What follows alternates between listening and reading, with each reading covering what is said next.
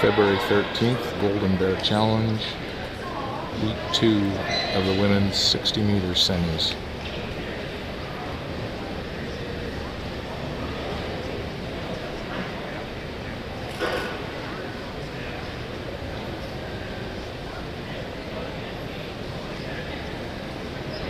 Set.